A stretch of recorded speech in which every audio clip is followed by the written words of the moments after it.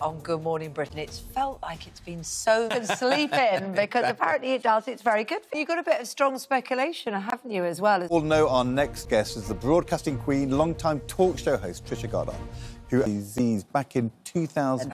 I'm so sad that my Nobody's Child suit has to go back, but I'm hoping that Jeff Goldblum, who was on the show this morning, may have given me a way to keep it because he noticed I've got a bit of red up here and he said, oh, you've got a bit of fluff. And then we realised it wasn't fluff, it's because I was holding a red pen and I've drawn on it.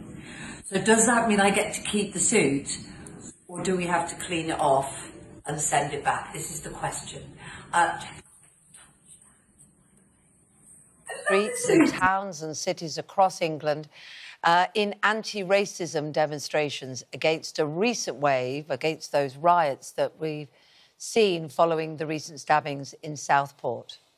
More than 6,000 police officers were mobilised yesterday after reports that 100 planned events would cause further disorder. Top story. Now, coming up, we're going to be joined by Matthew Collins, uh, who has a fascinating perspective because he is a former senior member of the National Front and now works for anti racist. Alongside that, though, the first prison sentences for violent disorder linked to the wave of rioting were handed to three men in Liverpool and Southport last week.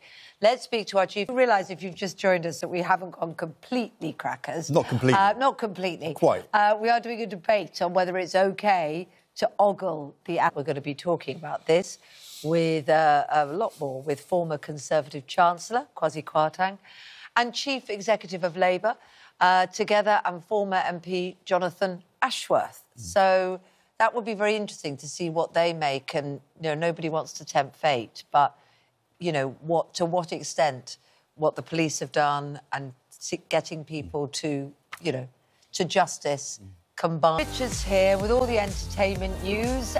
The fact you've had um, quick scene in the last uh, 10 days. Of course, um, lots of people out on debate. Uh, well, Marvin has the rest of the day. Former Metropolitan.